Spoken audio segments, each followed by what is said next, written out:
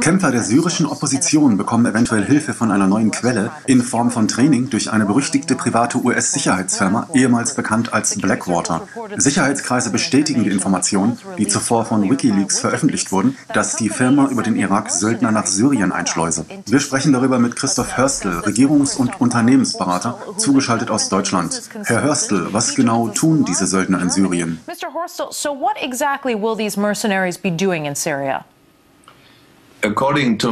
Laut meinen syrischen Quellen ist es offensichtlich ihre Aufgabe, gezielte Tötungen vorzunehmen, Terroranschläge zu verüben, sich Schusswechsel mit den Sicherheitskräften zu liefern und friedliche Demonstrationen zu stören.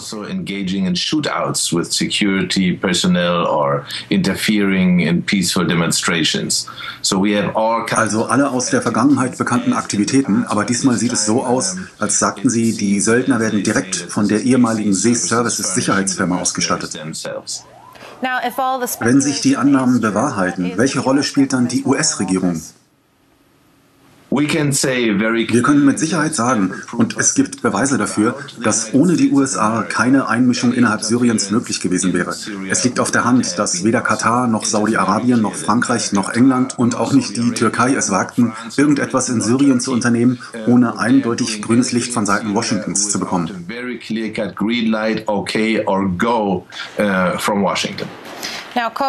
Kofi Annans Friedensplan beinhaltet, dass alle Seiten die Waffen niederlegen. Jetzt haben wir diese Berichte über mögliches Kampftraining für Oppositionsgruppen. Widerspricht das nicht geradezu den Friedensbemühungen der UN?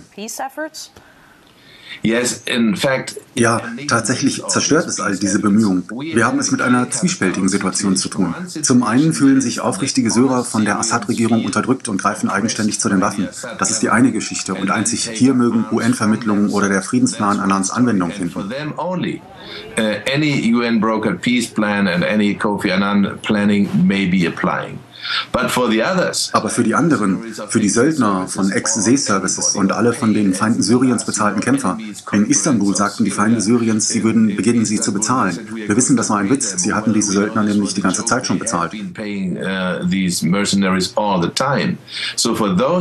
Bezüglich dieser Leute also hat die syrische Regierung natürlich das Recht zur Selbstverteidigung. Wenn Söldner geschickt werden, dann ist das eine eindeutige Verletzung jeglicher Friedensbemühungen in Syrien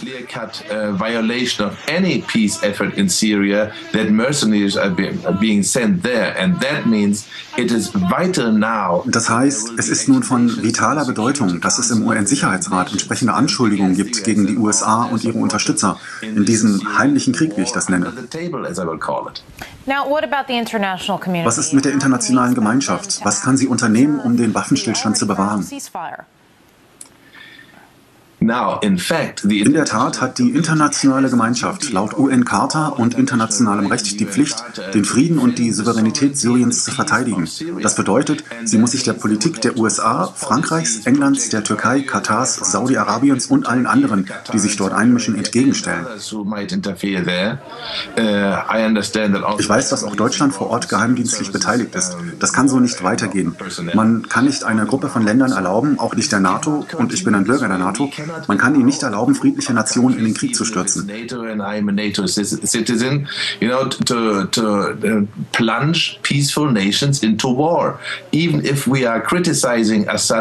wenn wir Assads Regierung und seinen Regierungsstil kritisieren. Natürlich gab es Folter, Tötungen und Gefängnisse. Das ist aber kein Grund, Stück für Stück einen internationalen Krieg zu veranstalten. All right. Christoph R. Horstel, Managing Director of Horstel Networks, live from Germany. Thanks for being with us. Thank you.